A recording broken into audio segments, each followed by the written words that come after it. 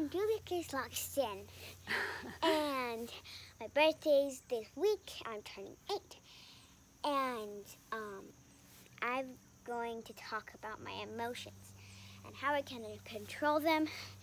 So this is actually the hill that I ride down when I'm angry. So I just get on the scooter, which is over there, Uh-huh. and I go down that big long downhill, and it's really fun, except not going.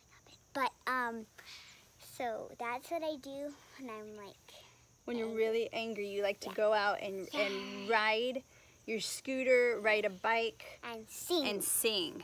Yeah. All right. And so, what else do you do? We talked about on the podcast. We talked about when you are angry, you'll you'll oftentimes you'll sing, um, Yeah. and you also you started that with your Daniel Tiger Tiger Yes. song. Can you do that one real quick? When you feel so mad that you wanna take a deep breath and count to four. One, two, three, four.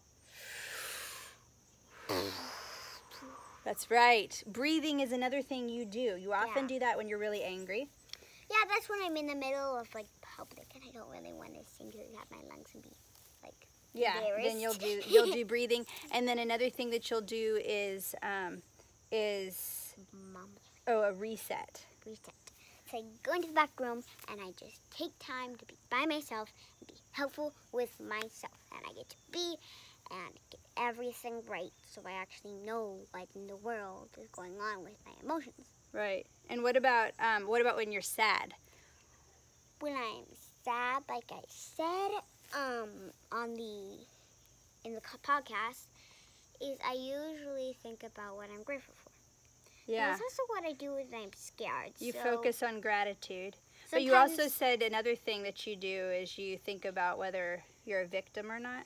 Yeah, um, that's like I've had lots of um things that I wish I didn't do, and sometimes I've acted like I was the victim, like acted like I was Rapunzel, Uh huh. and um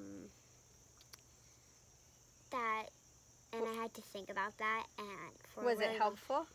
No, it wasn't helpful, and it just hurt some people's feelings. So I thought about that for a while, and then I found out it's not the right thing to do. So I helped um, myself learn how to stop it.